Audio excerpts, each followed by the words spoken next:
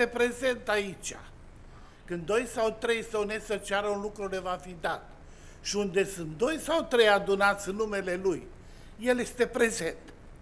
Haideți să începem această slujbă de rugăciune. Printr-o rugăciune și fratele Măduța să ne conducă în această rugăciune, iar noi să-L însoțim în cugetele noastre. Ne închinăm Domnului.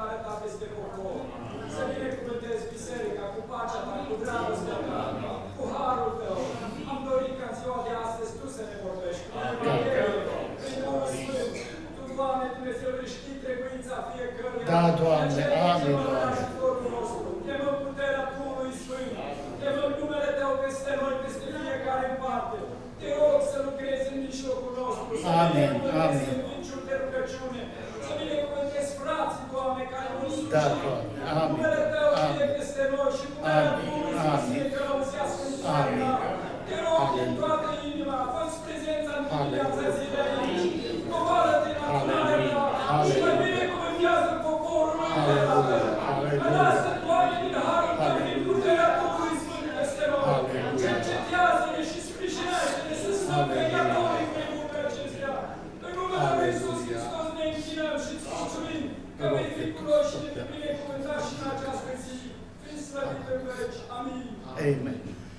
așa cum stăm în picioare să deschidem Sfânta Scriptură la Cartea Psalmilor. Și în dimineața aceasta vom citi Psalmul 32. Psalmul 32, un psalm al lui David. Ferice de cel cu fără de legea iertată și de cel cu păcatul acoperit. Ferice de omul căruia nu-i ține seamă Domnul neligiuirea, și în duhul căruia nu este viclenie.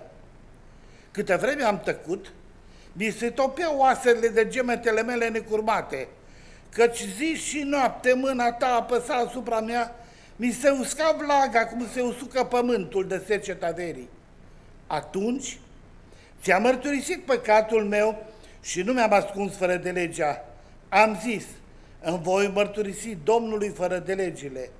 De aceea, orice om evlavios să se roage ție la vremea potrivită și chiar de s-ar vărsa ape mari peste el, nu-l vor atinge deloc. Tu ești ocrotirea mea, tu mă scoți din ecaz, tu mă înconjori cu cântări de izbăvire. Eu, zice Domnul, te voi învăța și îți voi arăta calea pe care trebuie să o urmezi. Te voi sfătui și voi avea privirea în dreptate asupra ta. Nu fiți ca un cal sau ca un catâr fără pricepere pe care îl strunești cu un frâu și cu o zăbală cu care îl legi, să nu se apropie de tine. De multe durere are parte cel rău, dar cel ce se crede în Domnul este înconjurat de îndurarea Lui. Neprihăniților, bucurați-vă în Domnul și veseliți-vă, scoateți strigăte de bucurie, toți cei cu inima fără prihană. Amin. Glorie Domnului! Cuvântul lui Dumnezeu este minunat. Haideți să mergem cu toții pe genunchi într-o rugăciune și să chemăm cu toții prezența Duhului Sfânt al lui Dumnezeu care să vină în mijlocul nostru, să ne cerceteze, să ne învioreze, să ne vorbească, să ne îmbărbăteze și să lucreze în inimile noastre. Mergem cu toții și facem o rugăciune pe genunchi. Amin.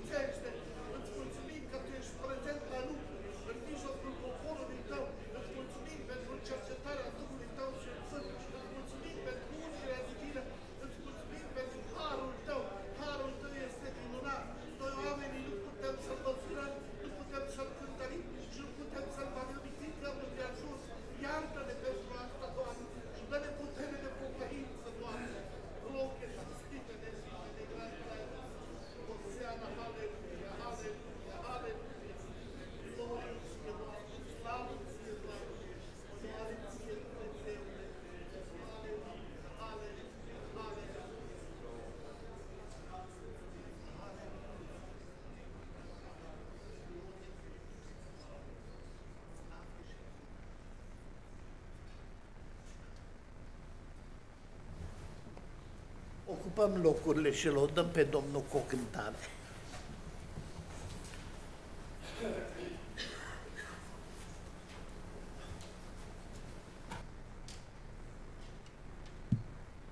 Să se pe cântarea Știi tu ce port în pieptul meu?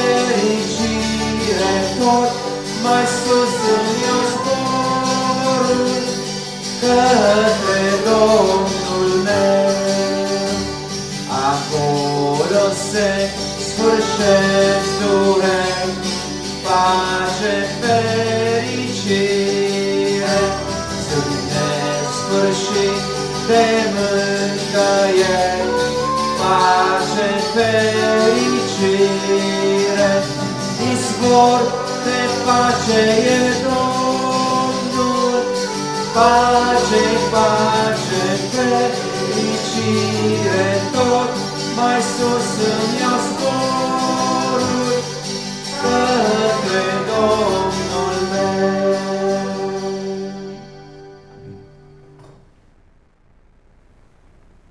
Glorie Domnului! Este important să fim lângă un izvor și nu oricare izvor, un izvor de pace. Un izvor de pace lasă liniște în lăuntru nostru. Un izvor de pace caută ca să lege toate problemele și să aducă vindecare. Pentru că adevărata pace este în Hristos.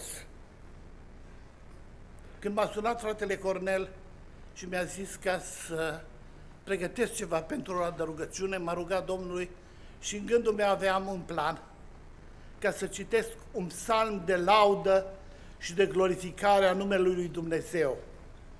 Și Duhul Domnului mi-a spus, citește psalmul 32. Și când am citit acest psalm, am zis, Doamne, Tu chem biserica la pocăință, mă chem pe mine la pocăință.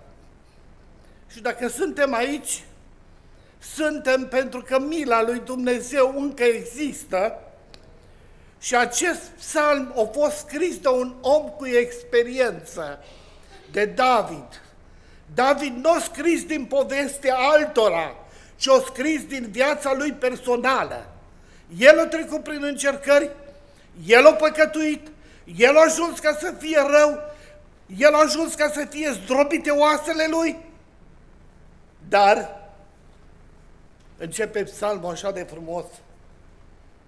Ferice de cel cu fără de legea iertată și de cel cu păcatul acoperit. Ferice de omul care nu-i, țeamă, nu-i ține în seamă Domnul nelegiuirea și în Duhul căruia nu este viclenie. Ce minunat! Psalmul nu începe, vai ce greu mi-a fost, vai cât am fost de disperat, ci începe cu fericire. De ce? Pentru că izvorul păcii Domnul și pentru că Domnul a lucrat în viața lui și a făcut o schimbare, i-a făcut o transformare. Și Domnul astăzi este în biserică ca să lucreze în viețile noastre, să ne aducă o transformare, să ne aducă o schimbare și o apropiere mai mult de El. De multe ori trecem prin încercări și încercările nu sunt altceva decât canale prin care Dumnezeu ne îndreaptă sufletele noastre către pocăință, către smerenie, către umilință și către întoarcere sinceră către El. E ușor să spunem, cu tare au păcătuit, ăla au păcătuit, ăla au făcut. Dar atunci când facem ca Daniel și zicem, Doamne, eu am păcătuit, națiunea mea, eu reprezint națiunea mea, eu reprezint familia mea, eu reprezint problemele mele, le aduc înaintea ta, problemele bisericii sunt una singură, e aceeași și dorim pocăință. Doamne, ajută-ne la aceasta. Avem o șansă pe care David nu a avut-o. Avem pe Domnul Isus Hristos care a murit pe Golgota și în sângele Lui există iertarea păcatelor și vindecarea bolilor. Și în puterea sângelui Lui Iisus Hristos este vindecare. În puterea sângelui Domnului Iisus Hristos este salvare. În puterea sângelui Domnului Iisus Hristos este curățire și sfințire. Și dacă suntem înfiați, suntem frați de sânge cu Hristos, pentru că sângele Lui Hristos a curs pe lemnul crucii din Golgota. E puterea ce face minuni, sângele Lui Iisus Hristos.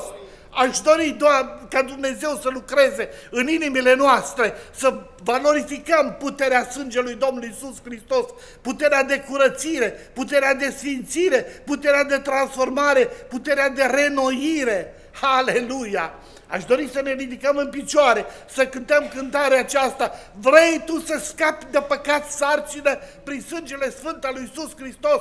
Să știți că peste voința omului nu trece absolut nimeni, nici Dumnezeu nu trece. Voința mea și voința ta este. Și cântarea te îndeamnă astăzi, dacă vrei să scapi, dacă vrei să fii eliberat, dacă vrei să vezi prezența Duhului tău, Duhului Sfânt în viața ta, deschideți inima Haideți să lăudăm pe Domnul cu această cântare, iar după aceea facem o rugăciune în care să cerem prezența sângelui Domnului Iisus Hristos peste noi. Lăudăm pe Domnul prin această cântare, iar apoi ne rugăm. Vrei tu să scapi de păcat sarcină, prin sângele sfânt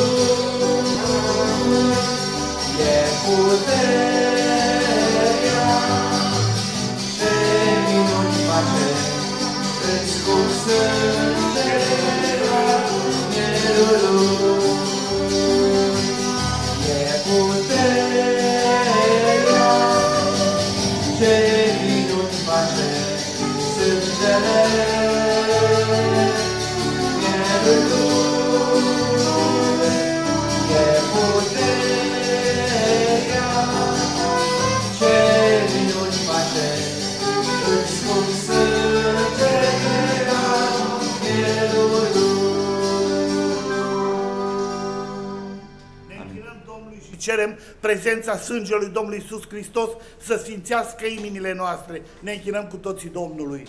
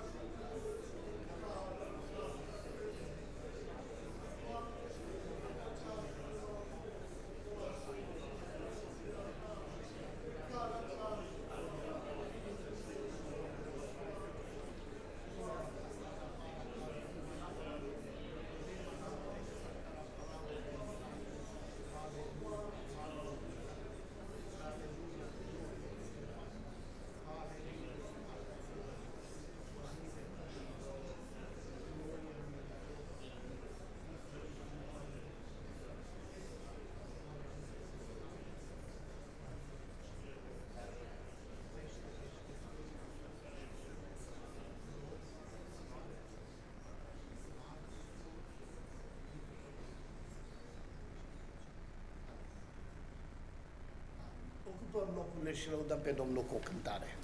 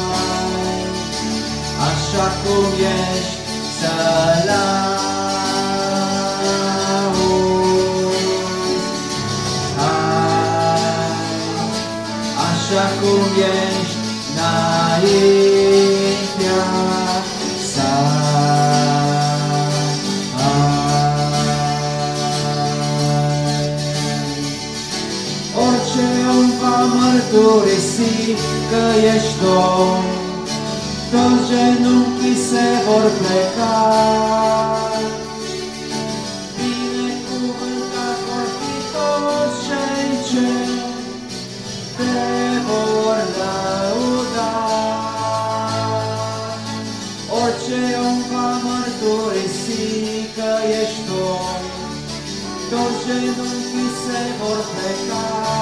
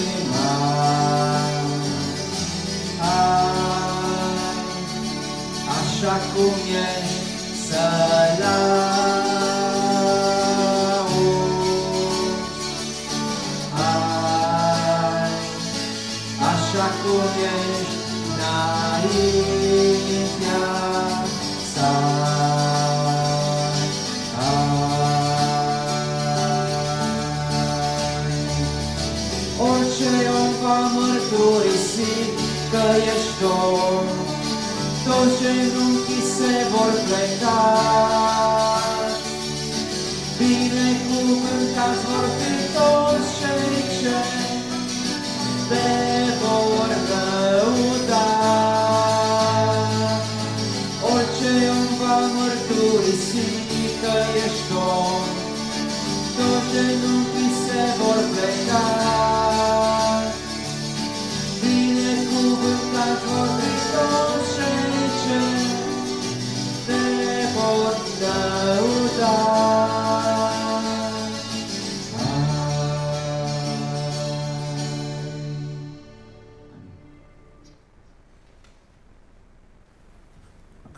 Domnului!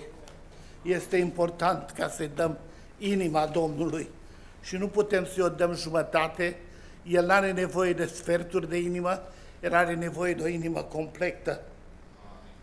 Vedeți, versetul 3 din Psalmul 32 spune așa, Câtă vreme am tăcut, mi se topeau oasele de gemetele mele necurmate, căci zi și noapte mâna ta apăsa asupra mea, mi se usca vlaga, cum se usucă pământul de seceta verii.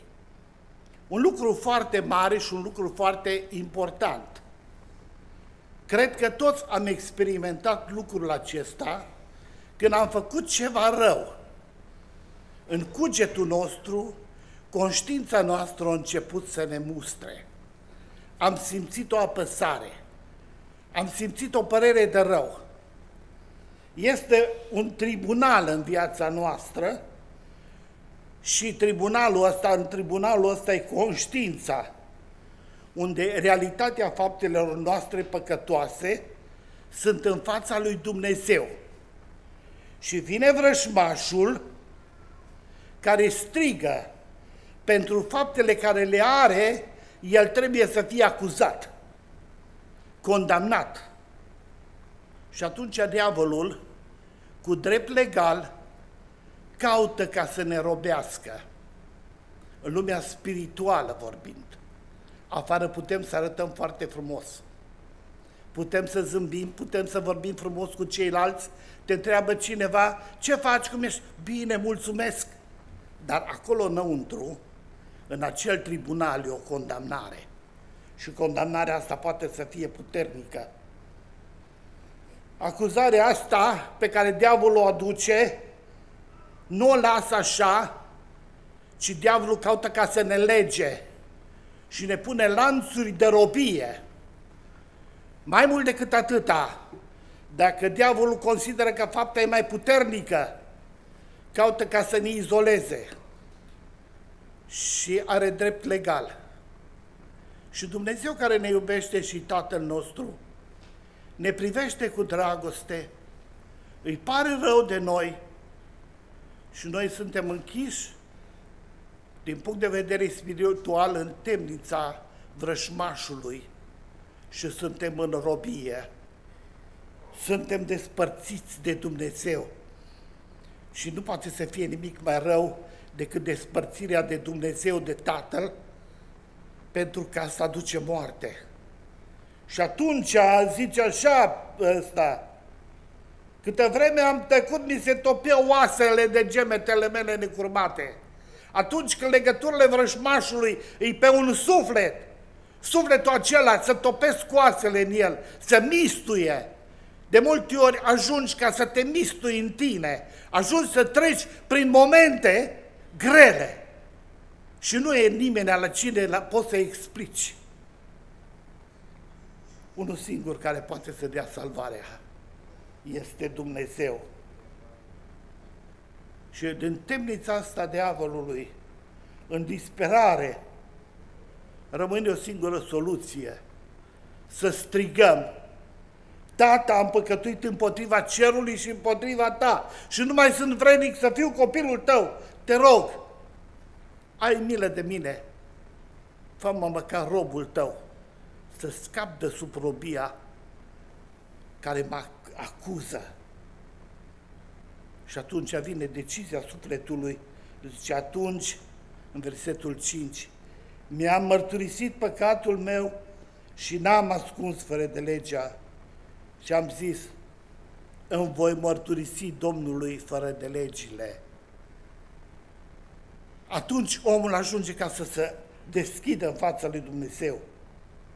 Atunci urmează să ne recunoaștem păcatul. Urmează să scoatem tot afară. Urmează să ne căim.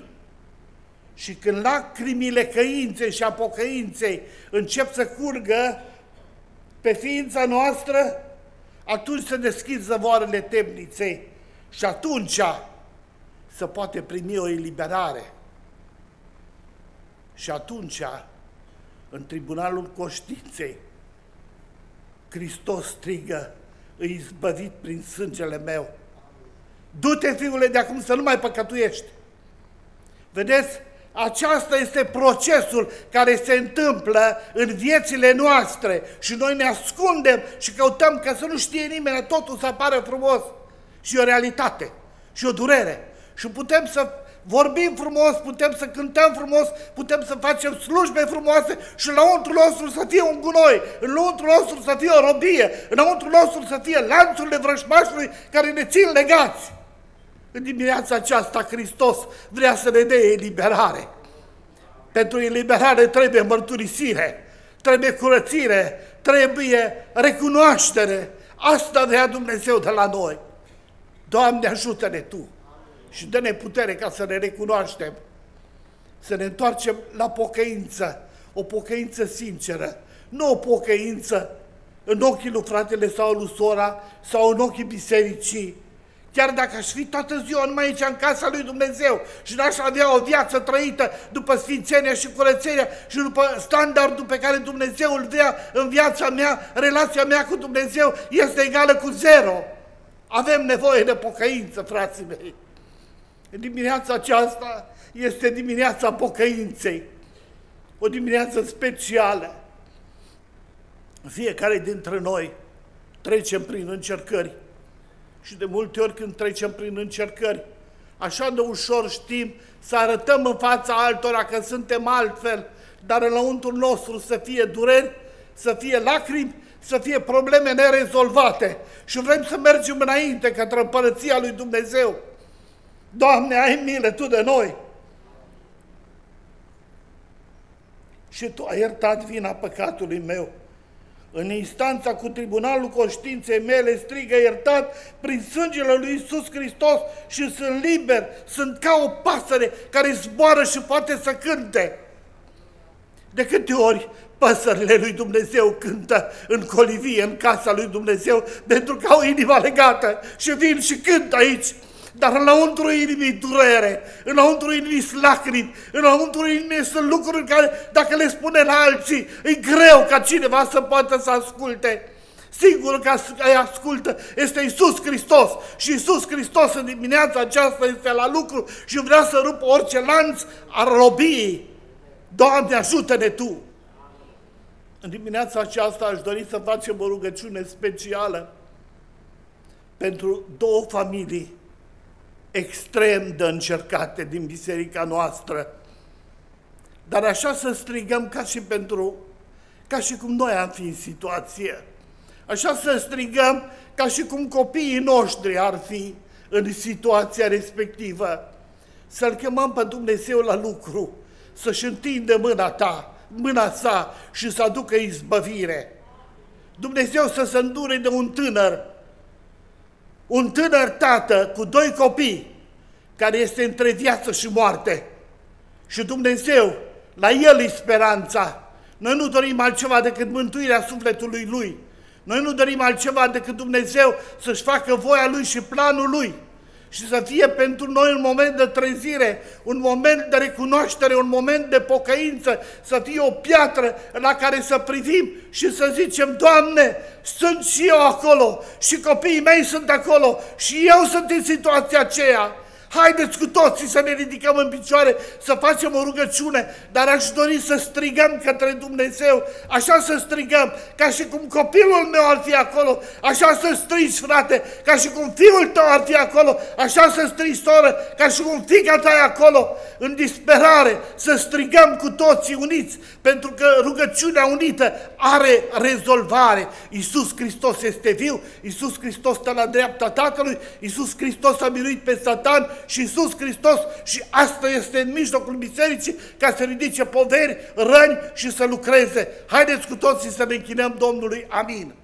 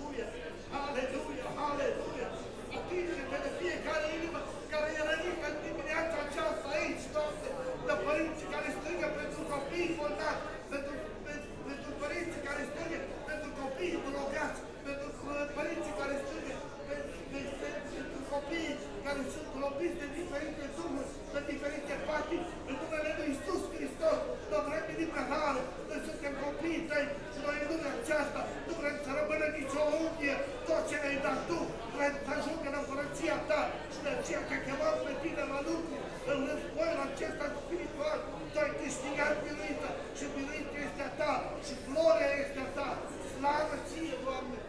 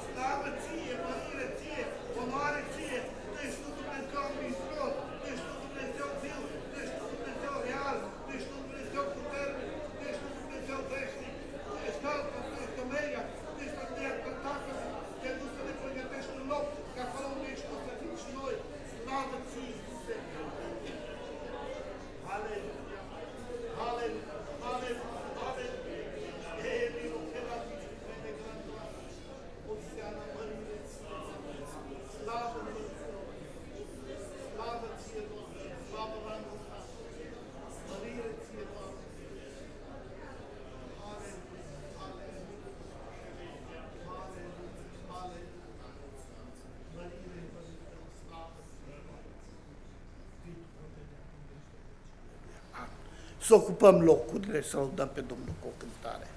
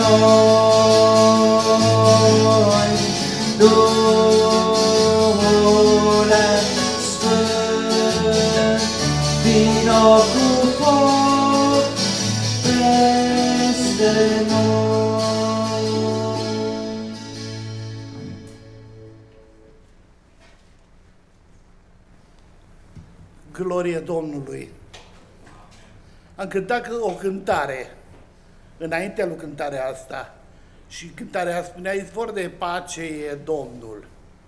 Cântarea asta care am cântat-o, o zis, pace e ca un fluviu, dar la izvoarele păcii, izvoarele păcii au început să crească și Harul lui Dumnezeu este peste noi și pacea lui Dumnezeu devine un fluviu pentru noi.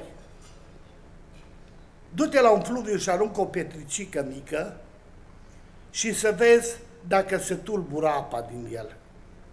Du-te la o baltă și aruncă o piatră și vei vedea că toată balta e tulbure. Când trecem prin încercări și vine bolovanii încercărilor în viața noastră, dacă pacea noastră este ca o baltă mică, totul se tulbură. Dar dacă pacea noastră în Hristos este adâncă, se duce bolovanul încercării la fundul apei și nu se observă nimic. Pentru că Dumnezeu e în control. Glorie Domnului! Vedeți cum începe psalmul? Ferice de cel cu fără de legea iertată și de cel cu păcatul acoperit, ferice de omul căruia nu-i ține seamă Domnul nelegiuirea și în Duhul căruia nu există viclenie. Atunci când există viclenie, noi căutăm să ascundem. Căutăm să ascundem de oameni și obișnuindu-ne să ascundem de oameni, încercăm să ascundem și de Dumnezeu. Dar atunci când suntem sinceri cu Dumnezeu, Dumnezeu ne dă o speranță. Vedeți ce trebuie noi să învățăm din experiența lui David. De aceea orice evlavios să se roage ție la vremea potrivită și chiar de s-ar vărsa ape mari, pe el nu-l vor atinge deloc. Deci relația mea și a dumneavoastră rugăciune să fie în orice circunstanță. Și la vremea potrivită, când vin încercările, când vin ispitele, dacă Duhul lui Dumnezeu este peste mine, în timpul încercării, Dumnezeu mă poate proteja ca să pot să fiu izbăvit. Și în versetul 7 spune, Tu ești o clontirea mea, Tu mă scoți din ecaz, Tu mă înconjori cu cântări de izbăvire. Ce lucru minunat! O crotire în Dumnezeu și care compensă înălțăm lui Dumnezeu cântări de izbăvire. Nu poate să fie mai mult, mai minunat decât cântarea de izbăvire. Gândiți-vă când Marea Roșie s-a despicat în două și când toți au fost trecuți dincolo și dușmanii erau în valuri și toți ăia care trebuiau să-i omoare, care umblau după ei să-i omoare pe, pe evrei, toți egiptenii, erau morți. Ce a putut să facă Israel? Să înalți o cântare de izbăvire. În ceasurile de încercare, când vedeți mâna lui Dumnezeu, nu uitați să-i mulțumiți lui Dumnezeu. Pentru că tu mă înconjori cu cântări de izbăvire. Cântările de izbăvire sunt ca un scut în jurul nostru. Când noi începem să lăudăm pe Dumnezeu, Dumnezeu îl luptă pentru noi. Aș dori ca să facem o rugăciune în care să-i mulțumim lui Dumnezeu pentru binecuvântările care ni le dă. Să-i mulțumim pentru izbăvirile care le dă dar aș dori înainte de asta să lăudăm pe Domnul cu o cântare. Această cântare să fie o cântare de laudă la adresa lui Dumnezeu, că El merită toată gloria, toată lauda, toată cinstea. Cuvântul lui Domnului zice, eu, zice Domnul, te voi învăța. Dacă suntem sinceri cu Dumnezeu, Dumnezeu ne învață și îți voi arăta calea pe care trebuie să o urmezi. Te voi sfătui și voi avea privirea îndreptată asupra ta. Ce lucru mare și minunat! Și atunci Dumnezeu ne dă un sfat. Sfatul lui Dumnezeu cu cuvintele noastre populare. Nu te încăpățâna, omule. Nu fiți ca un cal sau un catâr fără pricepere pe care îl strânești cu un frânt și o zăbală ca să legi să nu se apropie de tine. Dumnezeu ne dă sfatul ăsta. Și, mai, și încă un lucru, o concluzie. De multe dureri are parte cel rău, dar cel ce se încrede în Domnul este înconjurat de îndurarea Lui. Și în încercări, îndurarea Lui Dumnezeu ne înconjoară. Aș dori să ne ridicăm în picioare, să lăudăm pe Domnul cu o cântare în care de laudă la adresa lui Dumnezeu, pentru că El o birui pe Satan pe Golgota, El lucrează, El leagă rănile, El vindecă inimile, El lasă pace ca un fluviu în inimile noastre. După această cântare, vom face o rugăciune în care îl vom glorifica pe Dumnezeu și îi vom mulțumi pentru tot ce face El în viața noastră. Să-L semnăm cântare. Aleluia, Domnul nostru Dumnezeu în veci.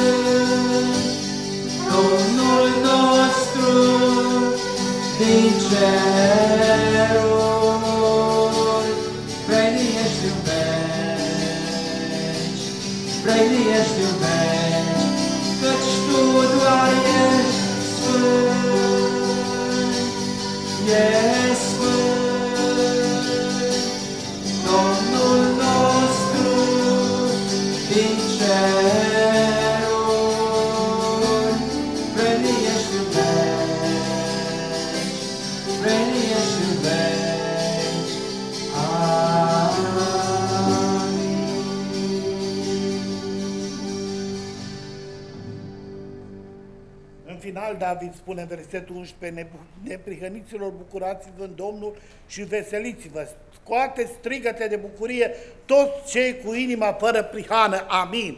Dumnezeu să ne binecuvinteze. Haideți să aducem cauzele înaintea lui Dumnezeu. Frații și surorile care vor să anunțe cauzele, sunt liberi să o facă, dacă sunt cauze. Amin dacă mai sunt și alte cauze.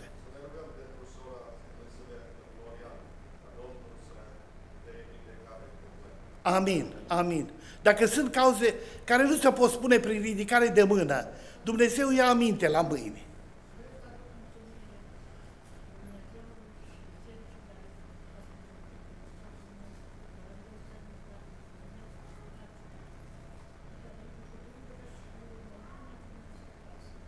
Slavă Domnului!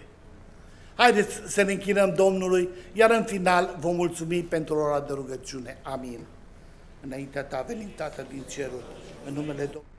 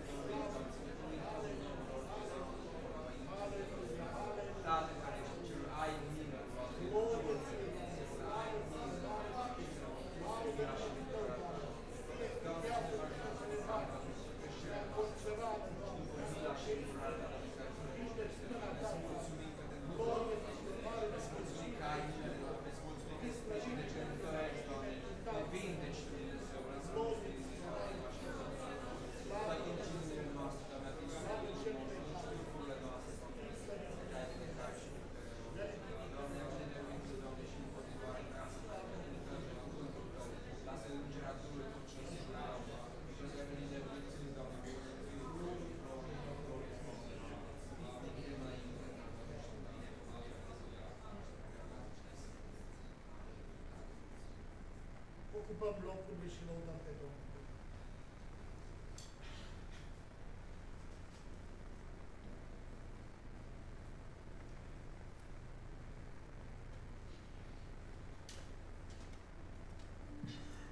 Să stăm pe în cântarea De n-ai fi tu de partea noastră.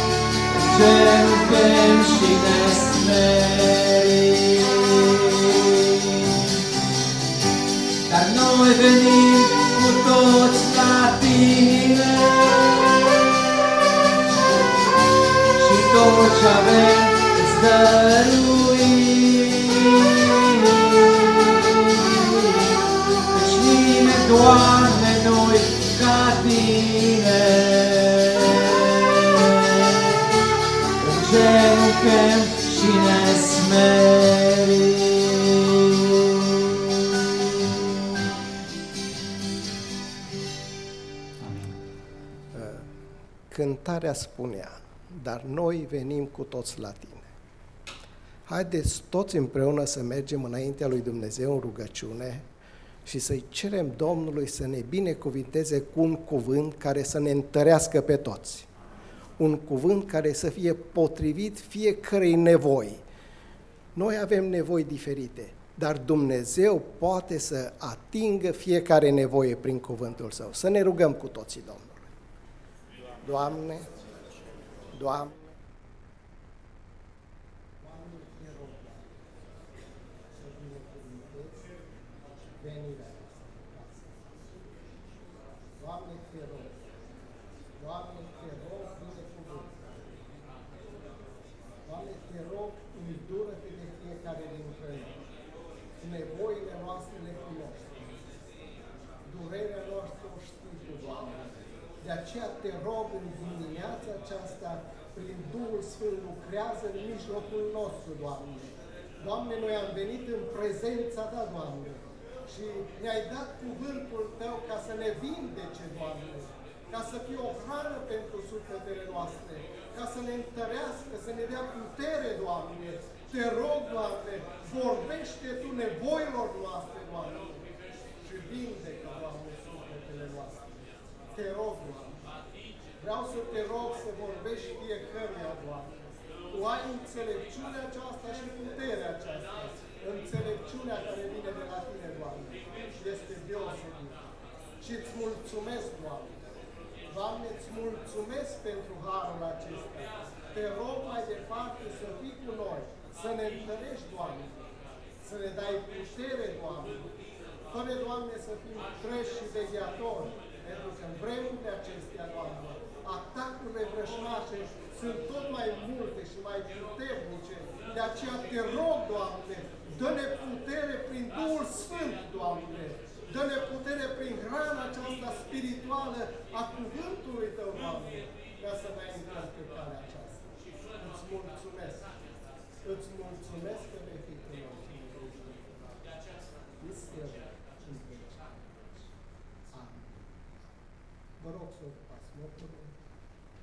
Haideți să cântăm o cântare toți împreună spre slava Domnului. În timpul cântării să ne închinăm Domnului și cu darul nostru de bunăvoie. Amin.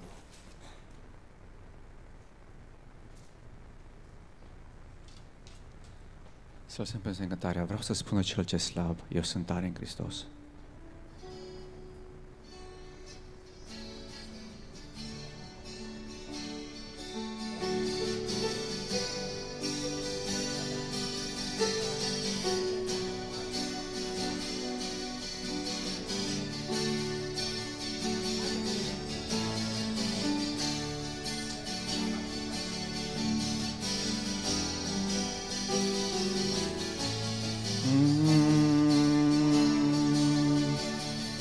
Vreau să spună cel ce slab, eu sunt tare în Hristos,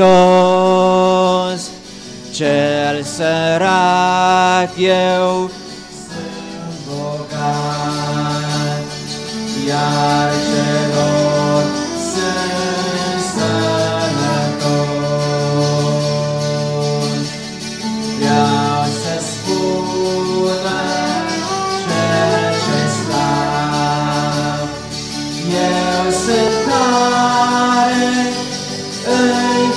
Hristos,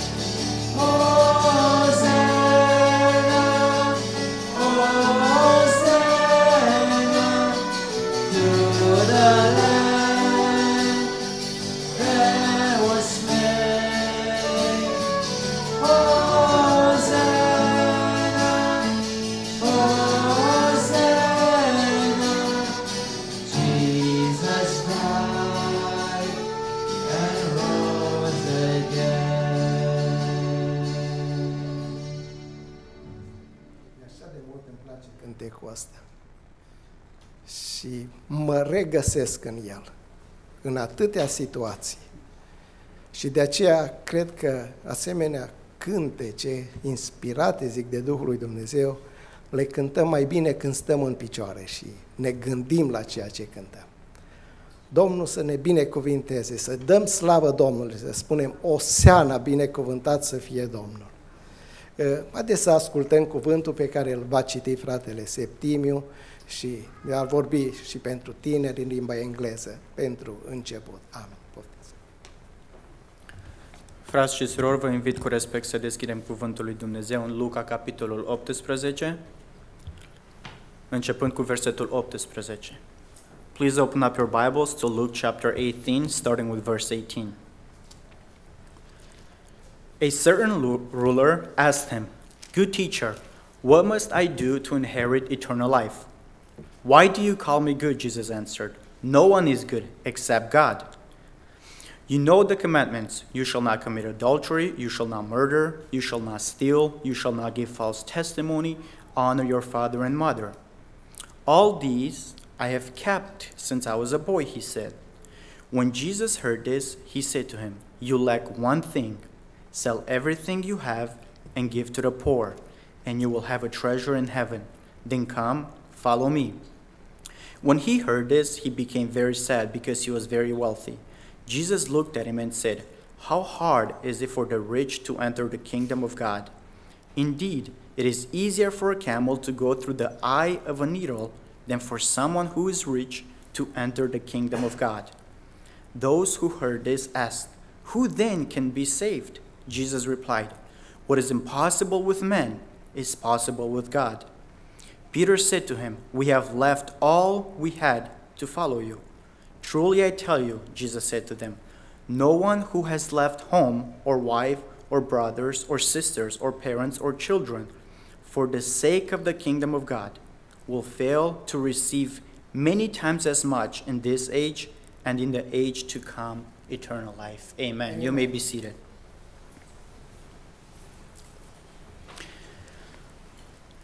One of the interesting thing about this story in the Bible is that you can find this similar story in Matthew, in Mark, and also in Luke. The same story that I just read right now, you can find that in Matthew and Mark. And that is very significant. But not only that, but the story above this story, you can find it in all of the synoptic gospels, which is Matthew, Mark, and Luke. So, this story that I read to you about the rich young ruler, you can find it in Matthew, Mark, and Luke. And the story above it, you can find it in Matthew, Mark, and Luke. And that's very important because look what it says just a couple verses above.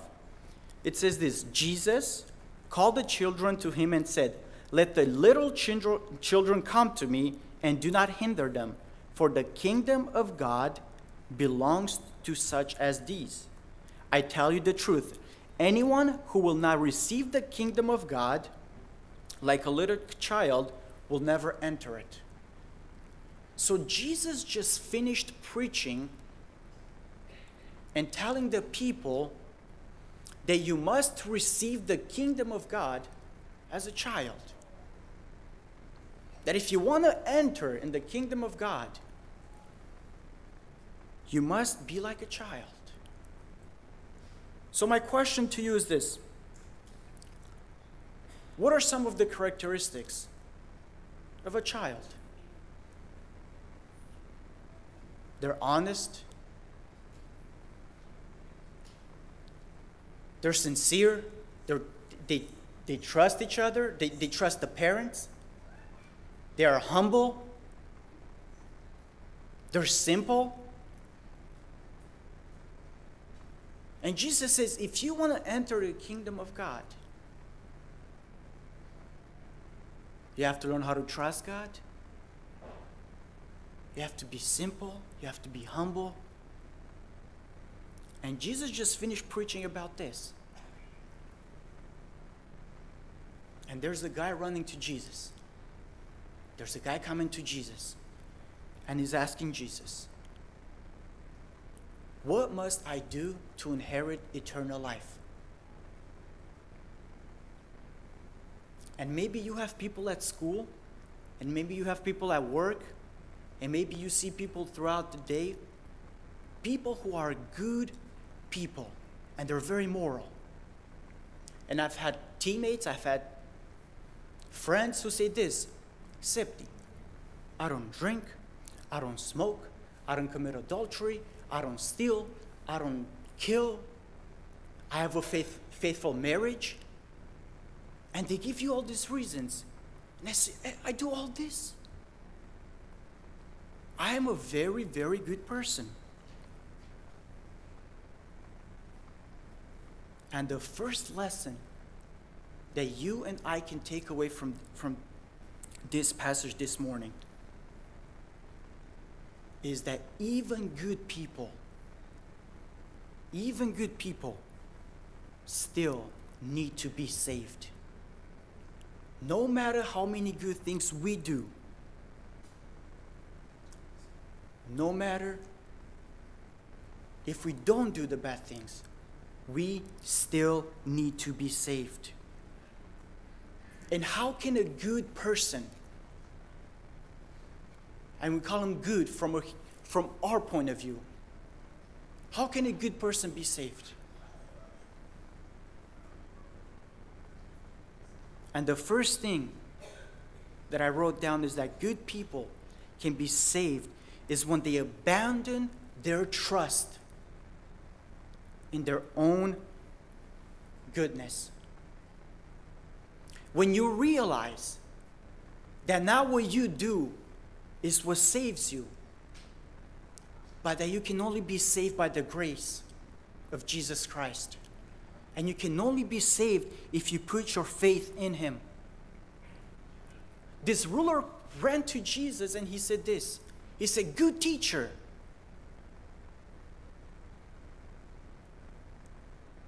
Good teacher, what must I do to be saved? Do you see the problem? It said, What must I do? And what can we do to be saved, guys? We cannot do nothing. We cannot earn our salvation.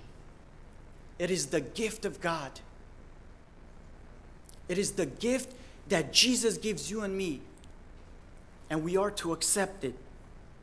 Salvation by human goodness is impossible because human goodness can never compare with God's goodness.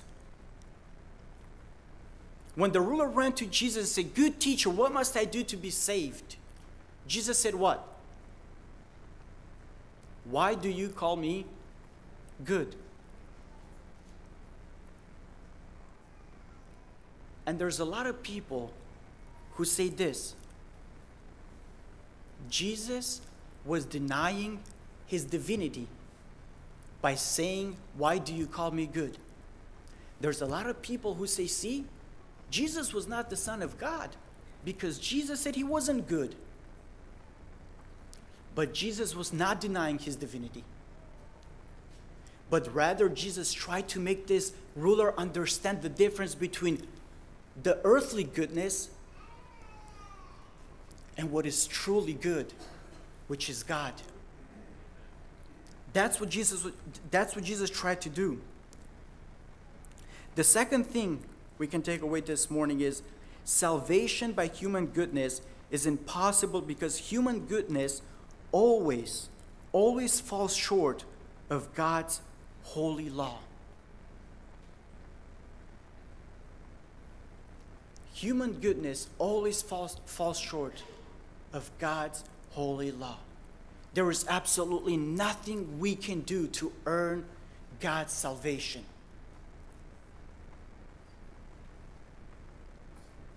Nothing we can do to earn God's salvation. And what amazes me in this text is it feels like Jesus puts a requirement on this person. And he tells him, it says, No one is good except God alone. And then it says, You know the commandments. So it almost feels like Jesus is telling this person that if you follow the commandments, you will be saved. But he's not. And Jesus tells him, he comes and goes, Jesus, what can I do to be saved? And Jesus says this, you know the commandments. And he says, You shall not commit adultery, you shall not murder, you should not steal, you shall not give false testimony, honor your father and mother. And all is good. And Jesus just finished preaching about being humble, being simple.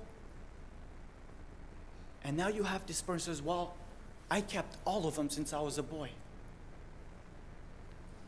I have kept every single commandment since I was a boy. And Jesus says, What? You're telling me that you kept all the commandments. And Jesus is like, I'm going to prove you that you didn't. And it says, You lack one single thing. You lack one single thing. And that's to sell all your possessions. And the most important part, to come and to follow Jesus. Good people can be saved. when they abandon their trust in their goodness that they do, and when they come and follow Jesus. In Luke chapter 10, verse 27 says this Love the Lord your God with all your heart, and with, with, all your, with all your soul, and with all your strength, and with all your mind, and love your neighbor as yourself. James chapter 2, verse 10 For the one who obeys the whole law, it says, but the one who obeys the whole law but fails in one point has become guilty of all of it. This young rich ruler obeyed every single law except one. To love the Lord your God with all your heart, with all your mind, with all your soul, and that is the most important one. To love Jesus with everything that you have. The third thing I want you guys to understand is that salvation by human goodness is impossible because human goodness deceives us about our true nature of our heart.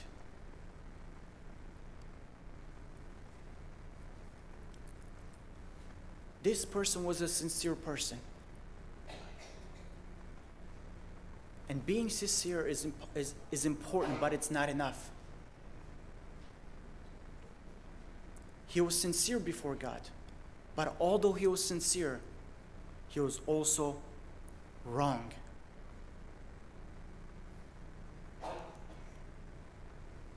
It is important that when we come before Christ, we come and we're sincere, we're humble but we also come believing in Him that He will work in us.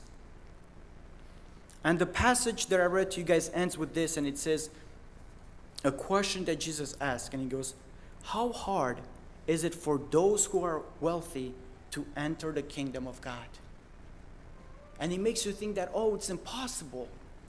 It's impossible for a wealthy person to enter the kingdom of God. And if you think about it, all of us in here are wealthy. It just depends who you're comparing yourself to. All of us are rich in this room. It all depends who you're comparing yourself to. And Jesus says it is impossible. And it's true. By human goodness, and the reasons I just gave you, it's impossible for, through our human goodness to enter into the kingdom of God. Jesus was affirming what the young ruler said. It's impossible to enter the kingdom of God by the things you do because you cannot earn your salvation. But Jesus says, What is impossible with men is possible with God. What is impossible with men is possible with God. And the last reason how good men and moral people can be saved is by turning away from their sins and trusting Jesus alone who can save them. There's no one else who can save them. The good deeds they do, having a faithful, faithful marriage, giving away to the poor, not committing adultery, nothing can save them. Only Jesus. May God bless you. Amen. Amen. Amen. Copiii vor cânta spre slava Domnului și apoi se vor întoarce pentru studiu biblic.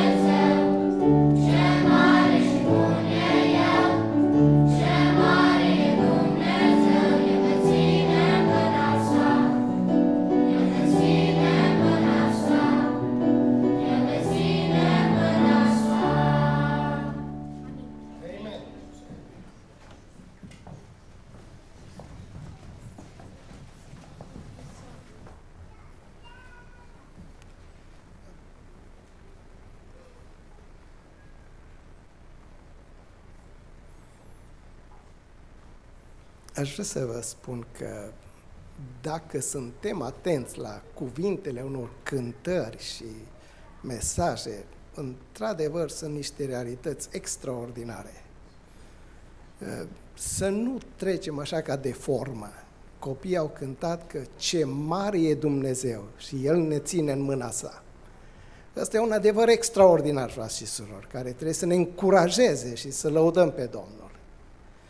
Aș vrea să vă spun de serviciile divine în casa Domnului, săptămâna aceasta care a intrat, marți rugăciune, miercuri rugăciune, joi rugăciune și cuvântul Domnului, vineri la ora șapte tinerii vin în casa Domnului, sâmbătă este rugăciune, de la ora 10 dimineața până după masă la 5, duminica următoare ne întâlnim în casa Domnului, duminica următoare la serviciu de după masă, vom avea un frate musafir din România, un păstor din zona Oașului, dar lângă toate acestea, Dumnezeu, eu cred că va fi cu noi, frați și surori. Și haideți să ne încredem în Domnul acesta care spunem că este mare și e adevărat. Nimeni nu are un Dumnezeu cum l avem noi, pe Dumnezeul nostru. Fratele Jean amintea la timpul de rugăciune și obișnuim să facem lucrul acesta de fiecare dată când ne adunăm. Ne rugăm unii pentru alții, pentru cauzele care le avem. Vă aduceți aminte când cinci ani în urmă, mai bine, eu eram într-o situație deosebit de grea, și poate gravă și pot să vă spun că nici nu mi-am dat seama. Când am aflat de situația aceasta, m-am dus acasă și i-am spus soției și ea a zis așa. Duminică te duci la biserică și spui tuturor să se roage Domnului pentru tine. Frați și surori, haideți să nu ascundem nimic. Să spunem tuturor și pe cine ascultă Dumnezeu, eu cred că ne ascultă pe noi sau pe cei care se roagă. Dar niciodată nu pot să spun, o, mă ascultă pe mine sau îl ascultă pe Cristi sau pe Iosif sau pe un copil care a fost aici. Așa cum Septimiu amintea, ce copiii sunt foarte sinceri. Și e adevărat lucrul acesta. Când vrei să afli un adevăr dintr-o familie, întreabă pe copii. întreabă pe ei, că ei spun exact cum îi. Uh, sunt situații deosebite și deosebit de grele în vremurile noastre. Atacul vrășmaș se dă împotriva lucrării lui Dumnezeu și lucrarea deosebită pe care o face Dumnezeu este familia. Și se dă atacuri împotriva familiei, a copiilor noștri, a slujitorilor lui Dumnezeu. Frați și surori, ce de făcut? Să ne rugăm Domnului să ne rugăm lui Dumnezeu. Amintea fratele Jean de un tânăr care trece printr-o situație deosebită între viață și moarte. Și dacă am zis că eu am principiul acesta să nu ascunde nimic, știți, este vorba de Andrew Onuț. Să ne rugăm lui Dumnezeu ca Domnul să-i dea viață și să-l binecuvinteze pe el și familia lui, și familiile Manea și Onuț. Frați și surori, în situații din acestea să nu lăsăm pe cel rău să ne pună să facem tot felul de judecăți.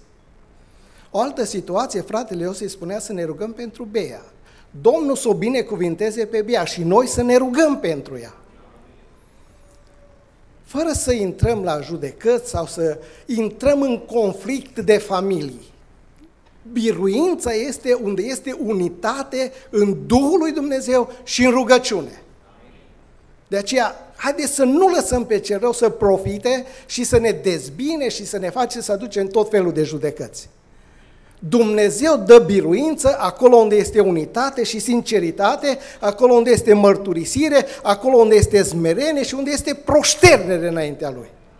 Așa să venim înaintea Lui Dumnezeu, dacă vrem să avem biruință. Domnul să ne binecuvinteze. Amen. Haideți să mai cântăm o cântare toți împreună. Ziceam lui fratele Cristi, Cristi, caută o cântare înainte de a vorbi din cuvântul Domnului. Zice, bine, ok. Și zic după aceea, Cristi, cântăm cântarea Bunătatea ta eternă. Și exact aceea o avea pregătit acolo. Zice, uite, e aici, deja e pregătită. Adică, credeți că e la voia întâmplării lucrurile astea sau e comunicarea Duhului lui Dumnezeu? Să știți că e comunicarea Duhului lui Dumnezeu pentru că Duhul lui Dumnezeu cunoaște nevoile noastre. Haideți să ne ridicăm să cântăm cântarea aceasta. După cântarea aceasta să cânte și corul bisericii și sora Iuliș, dacă are o cântare spre slava Domnului și apoi vom vorbi din cuvântul lui Dumnezeu.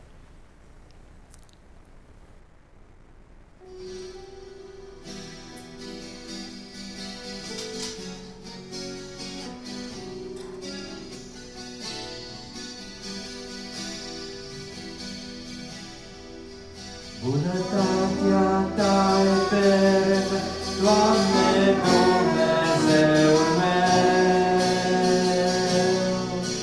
e cea mai dulce pernă de odihnă când e greu.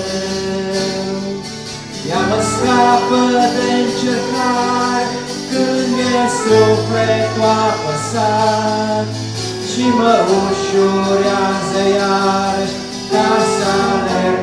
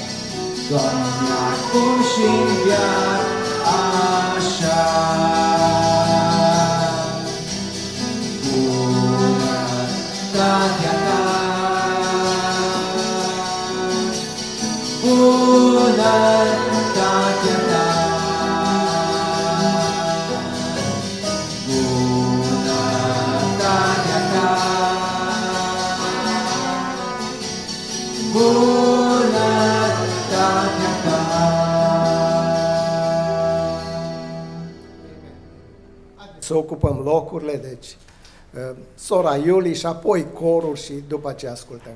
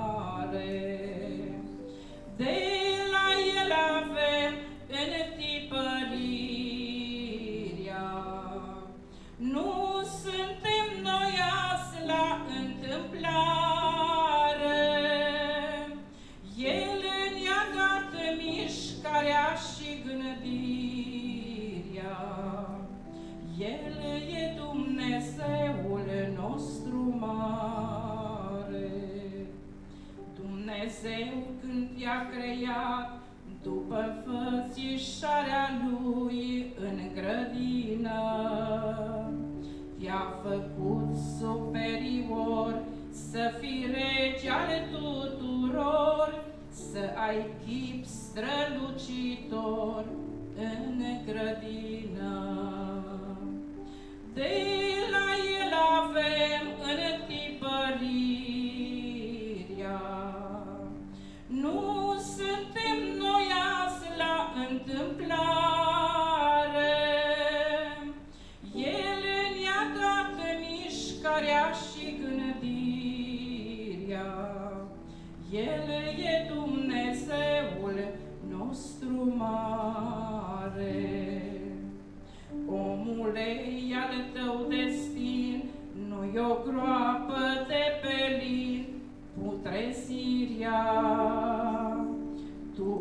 fost creat să fii, să ajungi în veșnicii, unde-n vecii va străluci nemurirea.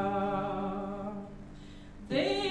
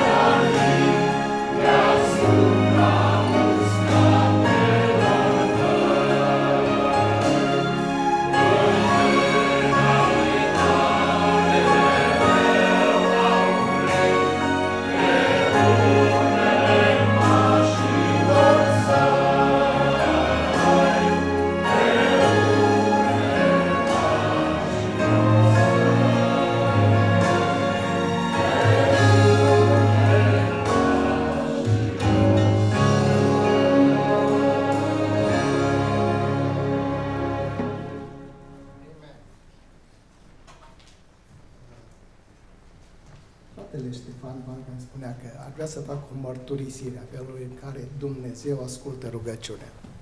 Te rog să vii aici, frate Ștefan.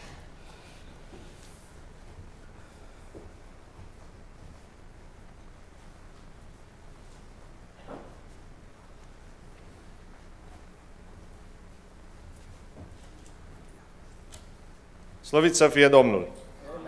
Cu câteva săptămâni în urmă s-a dus la cercurile de rugăciune și în locul acesta o mijlocire pentru familia noastră și vreau să vă arăt cum Dumnezeu lucrează când ne spune cuvântul, când strigă un nenorocit, Domnul aude și mare putere are rugăciunea celui neprienit.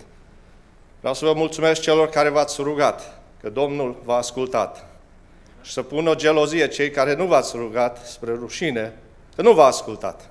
E simplu. Dacă te rogi, Domnul te ascultă. Aveam de, de furcă cu totul statul Oregon. Eram nevinovat, dar diavolul aduce și încearcă să arunce noroi potriva copiilor săi. S-a întâmplat vinerea și soției, asta e numai lucrarea diavolului. Amenințări după amenințări. Sâmbătă o să primești rezultatul, că îți condamnăm proprietatea, totul ce ai acolo. Eram în zbuciu. Vinerea, cum se amintește de multe ori, sunt, este un cer de rugăciune, aducem înaintea Domnului, am adus-o și lunea și marți aici. Și a trecut o săptămână unde nu știam unde, cum, ce să rezolvă, dar primesc un telefon vinerea și zice, nu ești vinovat, totul s-a rezolvat, totul este bine. Și aici numai Dumnezeu a schimbat lucrurile acestea. Și avem și trecem de multe ori prin situații ca acestea și vreau spre mărirea credinței noastre să nu pierdem nădejde, căci Dumnezeu ascultă, dar să venim cu o inimă sinceră. Și să aduc cazuri, și l-am amintit și eu, fraților, ne doare să nu judecăm. Ne doare când vedem că copiii Domnului suferă mamă de 12 copii, tânăr între viață și moarte. Și sunt multe cazuri ca acestea și avem datoria. Nu cumva să ne găsim într-o zi, că Dumnezeu zice, ai putut să te rogi, aici ai putut să mijlocești și ai stat cu mâinile nepăsător și mai bine dădeai cu gura și judecai. Să ne venim în fire și să vedem unde suntem, că să știți că Dumnezeu ascultă. Să nu mai lovim nici în cercurile de rugăciune, să nu lovim în frații care se roagă, căci ne aducem aminte cuvântul lui Dumnezeu când Saul s-a întâlnit cu Domnul Isus și îi spune Domnului Anania, du-te, Doamne, dar ce fă... uite ce-a făcut. El se roagă. Când te rogi, nu mai ești periculos. Și aș dori ca fiecare de noi să ne rugăm. Căci Domnul este acela care ne ascultă. Fraților, vădit nu vorbesc ce s-a întâmplat pre vremuri sau cu bunicii mei sau cu părinții. În viața mea îl văd că lucrează. Vrei să lucreze și în viața ta? Pe genunchi. Pe genunchi. Domnul să ne ajute. Interesantă expresia pe care a folosit-o fratele Ștefan. Ce când un om se roagă, nu este periculos. E, e adevărat, foarte adevărat. Da? Atunci, omul când se roagă înseamnă că are nevoie de ajutor și, știți, să smerește, știe să se smerească. Uh, ia, Domnul să ne ajute și să fie cu noi. Dimineața aceasta, chiar dacă n-am să vă rog să vă ridicați în picioare, am să citesc cuvântul Domnului din Roman 12, 1 și 2, versetele 1 și 2.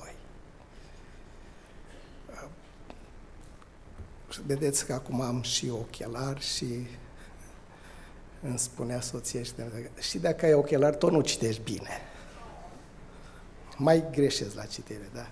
M-am gândit că versetele acestea le putem spune pe de rost, fără să ne mai uităm în Biblie. Avem harul acesta că l-a afișat Donii. Vă îndemn, dar, fraților, pentru îndurarea lui Dumnezeu, să aduceți trupurile voastre ca o jerfă vie, sfântă, plăcută lui Dumnezeu. Aceasta va fi din partea voastră o slujbă duhovnicească. Nu vă potriviți chipului viacului acestuia, ci să vă prefaceți prin înnoirea minții voastre, ca să puteți deosebi bine voia lui Dumnezeu, cea bună, plăcută și desăvârșită. Haideți să învățăm. Vă spun că am învățat versetele acestea pe de rost și cred că mulți le, le știm. Ceea ce am observat și văd ca o nevoie pentru o învățătura noastră era ultima parte a versetului 1.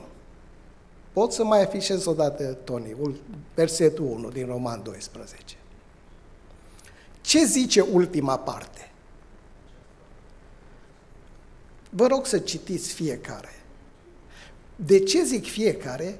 Pentru că este adresată această propoziție fiecăruia dintre noi. Aceasta va fi din partea mea o slujbă duhovnicească. Deci, fiecare dintre noi, frați și surori, suntem chemați de Dumnezeu să fim în lucrarea Lui, făcând o slujbă duhovnicească. Ă, epistola aceasta scrisă de Pavel, de Apostolul Pavel românilor, ă, verse, ă, capitolele 1 până la 11 spun cercetătorii Bibliei, deci specific pentru români aceasta, să știți, zice că este o parte de învățătură, de doctrină și partea a doua, de la 12 până la 15, învață Apostolul Pavel cum să aplicăm în practică ceea ce am învățat. Ba, sunt lucruri care le învățăm și din primele capitole și învățăm cum să le punem în practică. Dar am constatat, frați și surori, că fiecare cuvânt ce e scris în Biblie are o importanță deosebită. Fiecare cuvânt. Și nu degeaba spune în Biblie că nici o iotă nu va trece. Și tot ce scrie în Biblie se împlinește, frați și surori. Pentru că cel ce a scris Biblia și a inspirat Biblia, adică Duhul lui Dumnezeu și Dumnezeu, veghează asupra cuvântului să se ducă la îndeplinire. Deci, indiferent ce spune lumea de astăzi, că mai scot din Biblie, că unii o fac după și interpretează după părerea lor. Ascultam săptămâna trecută, ascult când mă duc la serviciu sau la radio creștin, și spunea un pastor, ce, vă spun ce spunea el, că n-am auzit. O spus că fostul președinte Obama a spus că noi nu avem nevoie de epistola către romani, nici de învățătura lui Apostolul Pavel în zilele noastre. Ia, Așa zis el, nu știu, a spus Obama sau n-a spus, vă spun ce am auzit. Dar nu este exclus să nu fi spus. Dar vă spun că fiecare cuvânt pus în Biblie are putere. Și dacă ar fi să analizăm din textul acesta, de versetul acesta, cuvântul vă îndemn. Ce ne spune nouă cuvântul acesta? Când cineva te îndeamnă sau mă îndeamnă. Ce înseamnă aceasta? Ce înseamnă îndemn? A da un sfat, o îndrumare, a chema la o acțiune, a face ceva. În cuvântul lui Dumnezeu sunt atâtea lucruri care le, le înțelegem foarte bine și sunt porunci. Nu este pentru un ordinul nu se discută. Nu? Așa spune, se spune în armată. Ordinul se execută. Așa e, frate Sandu. Așa spune la, la armată, nu se discută.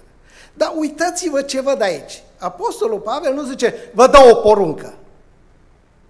Vă sfătuiesc. Și în vechime Dumnezeu a pus oamenilor înainte o alegere. Deci o alegere. Într-adevăr, ceea ce spunea Septimiu aici, Dumnezeu, prin Domnul Isus Hristos, a deschis această cale spre mântuire. Dar este alegerea mea și alegerea ta dacă vreau să intru pe calea aceasta.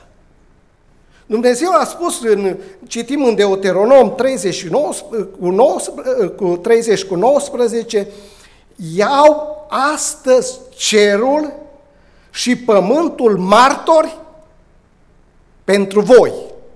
Dar zice împotriva voastră, că ți-am pus înainte viața și moartea, binecuvântarea și blestemul. Alege viața ca să trăiești tu și sămânța ta.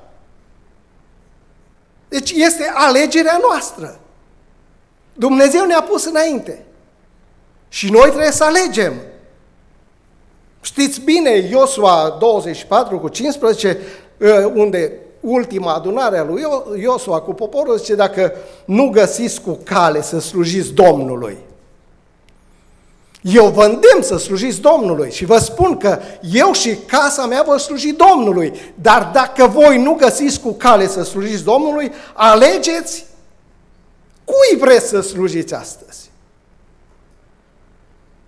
Luca, Nou Testament, Luca 9 cu 23, Domnul Iisus Hristos spune, uh, și s-a amintit un pic din textul de uh, citit de Septimiu, ce dacă voiește cineva să mă urmeze, deci, din nou, îndemnul Domnului, îndemnul ucenicilor, îndemnul apostolilor, îndemnul nostru este să-L alegem pe Domnul. Ce dacă voiește cineva să mă urmeze, acum vă rog să luați fiecare în dreptul nostru textul acesta. Așa am zis. Asta va fi din partea noastră o slujbă duhovnicească. Din partea mea, din partea mea. Dacă voim să-L urmăm pe Domnul Isus Hristos, să se lapede de sine, să-și ia crucea în fiecare zi și să mă urmeze. Deci, aceasta este, oarecum, poate sunt mai multe, aceasta este înțelegerea mea acestui cuvânt. Vă îndemn. Frați și surori, vă îndemn să slujim Domnului. Așa spune apostolul. Fraților, nu se adresa celor ce erau în afara uh, bisericii, se adresa fraților, să slujiți Domnului. Uh, al doilea punct care zice, de ce să slujesc Domnului? Că noi întotdeauna când facem o slujbă, poate ne gândim la o recompensă. De ce să slujesc Domnului? Motivația. Tony, m-aș bucura dacă ai lăsat versetul 1 pe screen acolo. Tot timpul, ca să îl avem înaintea noastră. Care este motivația? Ce spune Apostolul Pavel? De ce să slujim Domnului? Ce? Pentru îndurarea lui Dumnezeu. Deci avem un alt cuvânt aici care are o, o valoare pentru mine când l-am studiat și am zis, pentru îndurarea lui Dumnezeu. Dacă am văzut ce înseamnă vă îndemn, a convinge, a chema pe cineva la acțiune, a sfătui pe cineva, ce înseamnă cuvântul îndurare?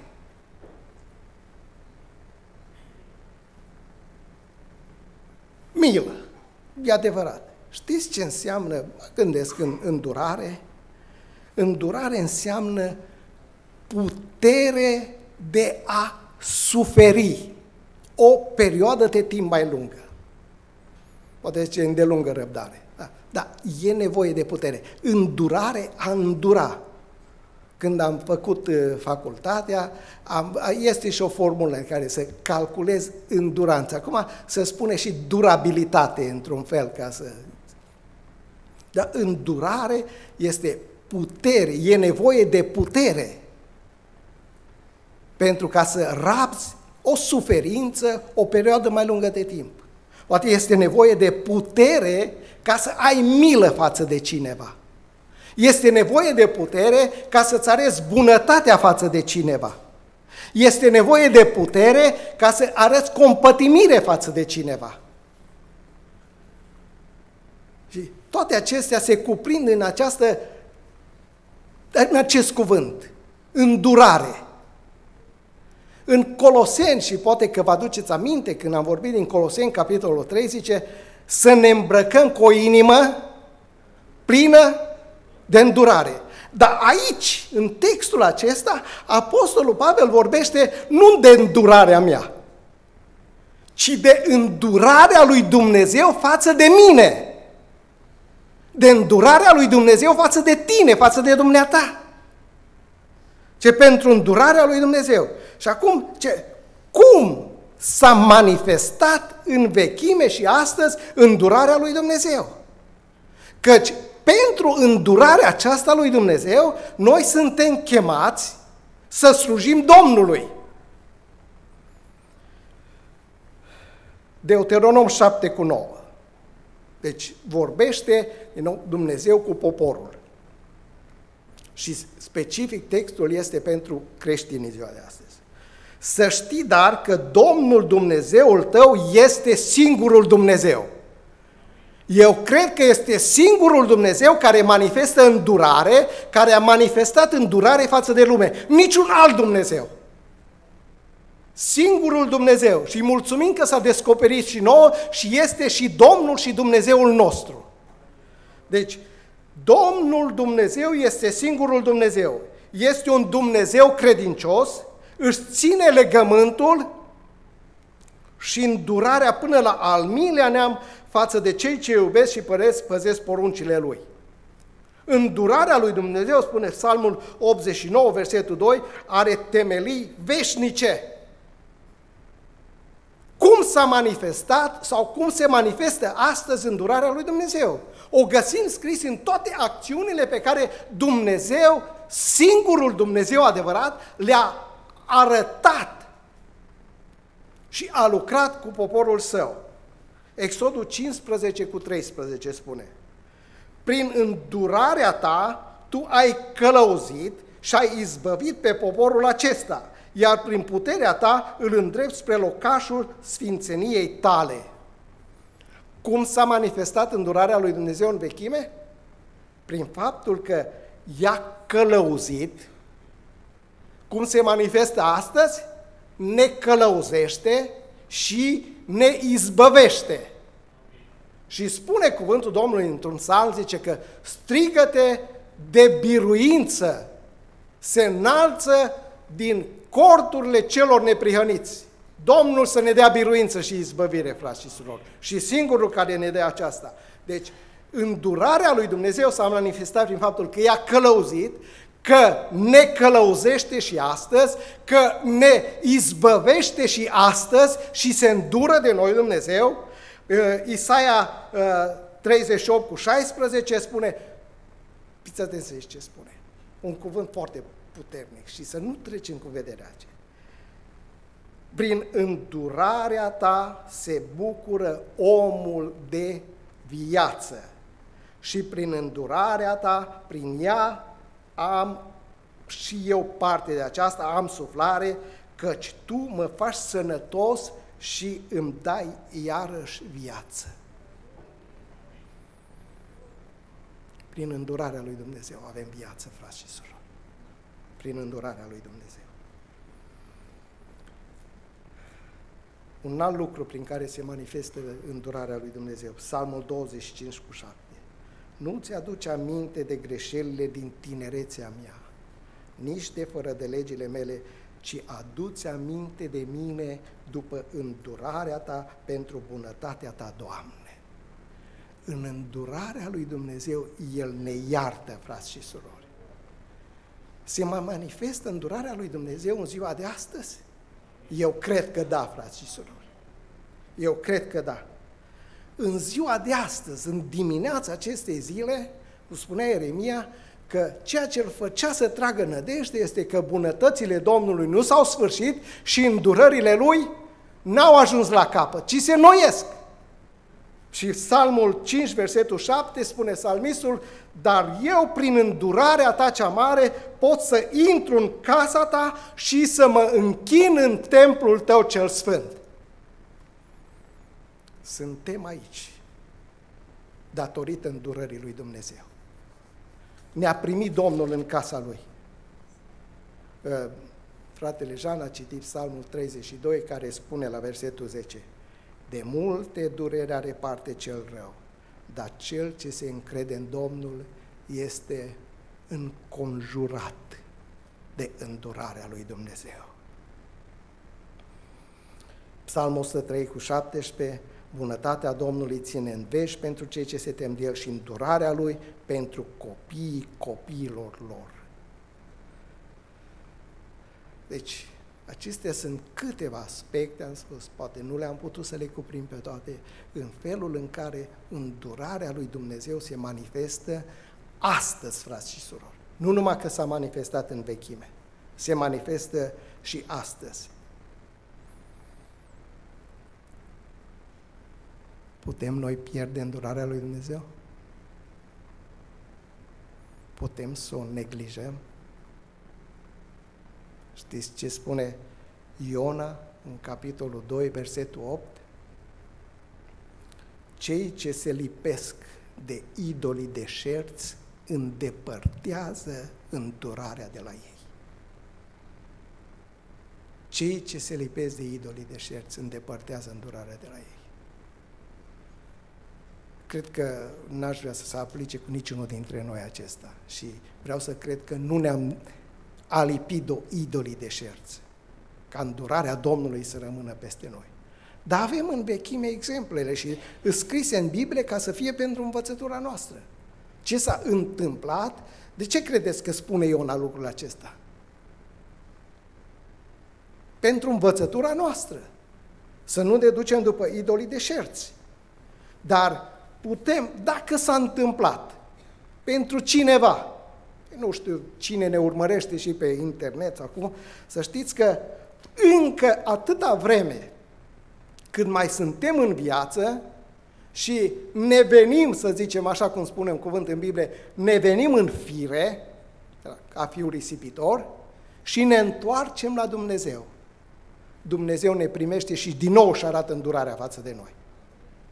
Putem să venim din nou să avem parte și beneficiu de îndurarea lui Dumnezeu, dar numai prin pocăință și viață sfântă. Daniel în Uh, capitolul 9, versetul 18, când mijlocește pentru poporul Israel care a ajuns în robie pentru că s-a depărtat de Dumnezeu și a neglijat îndurarea lui Dumnezeu, zice, uh, pleacă urechea Dumnezeu, le ascultă, deschide ochii și privește la dărâmăturile noastre, la cetatea peste care este chemat numele Tău, căci nu pentru neprihănirea noastră îți aducem noi aceste cereri, sau îți aducem cererile noastre, ci pentru îndurările tale cele mari. Pentru îndurările tale cele mari. Habacuc, când se întreba, Doamne, ești neputincios? Cum se face că păgânii și cel rău au ajuns să stăpânească peste poporul tău? Avea Habacuc întrebările acestea. Doamne, nu înțeleg. Nu înțeleg, Doamne, cum se poate așa ceva? Habacuc, du-te la turnul de veche și ai să înțelegi. Să vezi că poporul s-a depărtat de mine și dacă citiți cartea prorocului Habacuc, sunt acolo înainte de a cinci vaiuri pe care le rostește cuvântul. Că s-au depărtat de Dumnezeu și prin aceasta și-au lepădat îndurarea lui Dumnezeu, cum spunea Iona, îndepărtat îndurarea lui Dumnezeu. Și spune Habacuc, Dumnezeu îi descrie ce se întâmplă, ce se va întâmpla. Și cum vrea Dumnezeu să lucreze ca să trezească poporul să vină din nou sub îndurarea lui Dumnezeu. Ce când am auzit, Doamne, ce ai vestit, m-am îngrozit. Dar, Doamne, însuflețește-ți lucrarea în curgerea anilor. Doamne, fă-te cunoscut în trecerea anilor, dar în mânia Ta, uite ce mișlocire, în mânia Ta, Doamne aduți aminte de îndurările tale. Ca să venim din nou și să avem parte de îndurarea lui Dumnezeu, fraților, trebuie să ne smerim înaintea Domnului. Să ne pocăim, să ne întoarcem la El, la smerenie. Și textul acesta din Iov, în capitolul 33, uh, începând cu versetul 20, este un pic mai lung, dar am să-l citesc tot, că este cuvântul Domnului despre un om care a ajuns pe marginea gropii. Deci când omul acesta, deci atunci când îi este greață de pâine, chiar și de bucatele cele mai alese, carnea îi se prăpădește și piere, oasele care nu îi se vedeau rămân goale. Sufletul îi se apropie de groapă și viața de vestitorii morții. Vă dați seama ce stare este omul acesta? Și spune mai departe, a, a, aici este un lucru care m-a, m-a impresionat pe mine. Dacă se găsește un înger mijlocitor pentru el, unul din mile acelea care vestesc omului pe calea pe care trebuie să o urmeze. Dacă se găsește un înger mijlocitor, frați și surori, rugăciunea aceasta de mijlocire are valoare extraordinară. Dacă se găsește un înger mijlocitor, versetul 24, Dumnezeu se îndură, slăvit să fie Domnul. Dumnezeu se îndură și el zice îngerului, izbăvește-l ca să nu se coboare în groapă. Am găsit un preț de răscumpărare pentru el.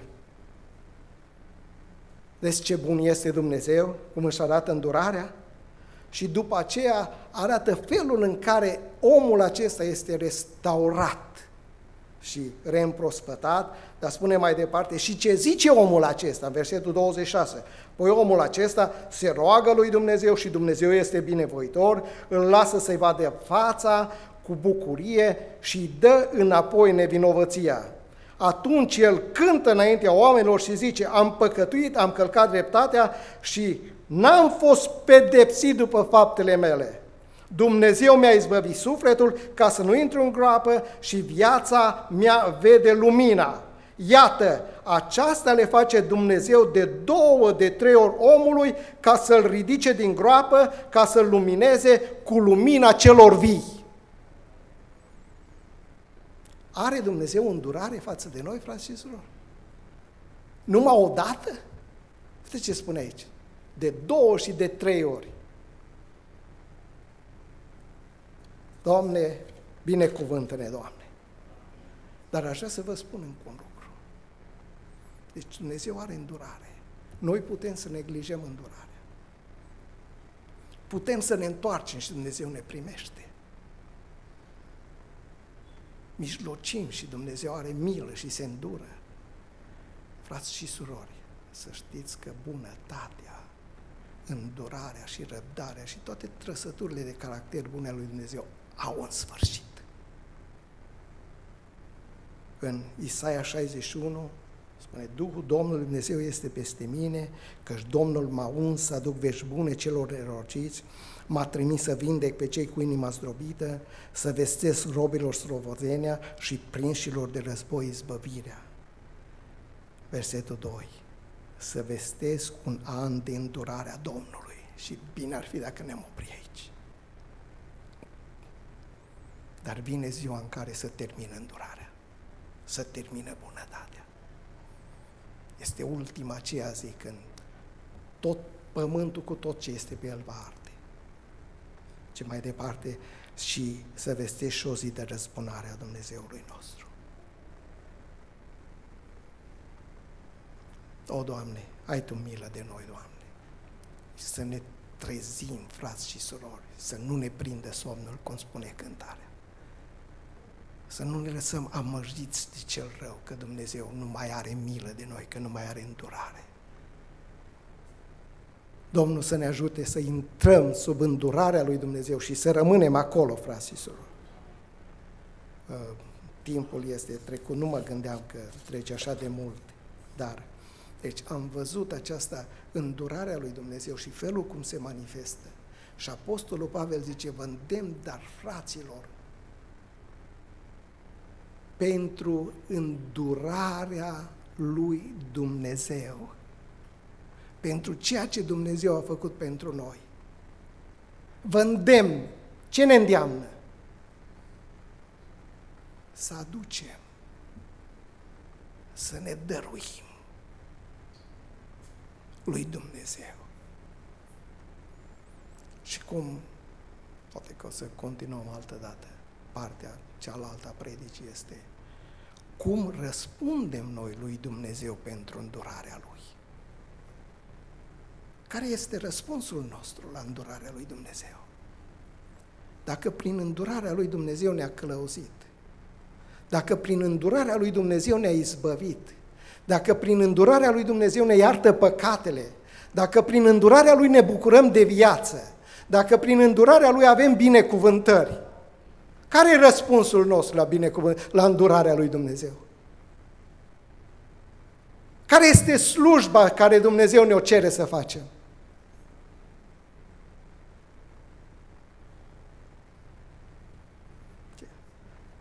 Este psalm, cred că psalmul 106, dacă nu greșesc, ce, și alții, și în multe părți în Biblie spune, lăudați pe Domnul că El este bun, căci în veac ține îndurarea Lui. Deci răspunsul nostru, un prim răspuns este să lăudăm pe Domnul, că e bun. Și lăudăm. Din textul acesta și în dimineața aceasta, jertfa aceasta de laudă și a lăuda pe Domnul, să știți că o văd mai ușoară decât ceea ce ni se cere aici. Că pentru îndurarea lui Dumnezeu, spune, să aducem trupurile noastre ca o jertfă vie, sfântă, plăcută lui Dumnezeu. Și aceasta va fi din partea noastră o slujbă duhovnicească. Putem să ne gândim la subiectul acesta, fiecare dintre noi, și în fiecare zi să ne gândim cum răspundem noi lui Dumnezeu pentru îndurarea Lui față de noi în ziua aceea. Să ne gândim în fiecare zi că viața o avem datorită îndurării lui Dumnezeu. Să ne gândim în fiecare zi că binecuvântările le avem datorită îndurării lui Dumnezeu. Să ne gândim în fiecare zi că Dumnezeu se îndură de noi și ne primește și ne iartă. Să ne întoarcem la Domnul din toată inima pentru îndurarea lui Dumnezeu. Apostolul Pavel ne cheamă, zice, pentru îndurarea aceasta lui Dumnezeu, să facem slujbe duhovnicești. Când facem slujbe duhovnicești, frați și surori, și ne dăruim lui Dumnezeu, atunci suntem binecuvântați și material și spiritual. Avem pace, Dumnezeu ne vindecă, ne iartă, ne călăuzește, ne izbăvește. Domnul să ne binecuvinteze, amin. Haideți să ne ridicăm și să mulțumim Domnului pentru dimineața aceasta.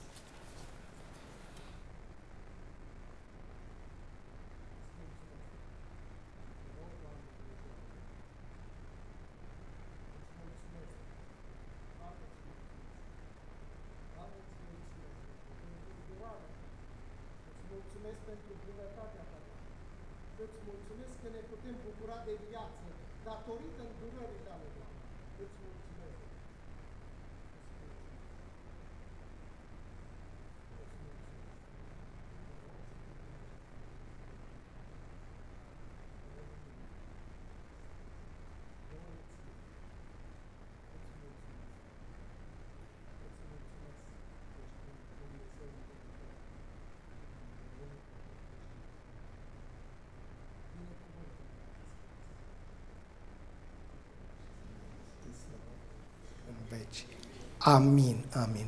Domnul să fie cu noi la despărțire. Ne întâlnim după masă la ora 6. Amin.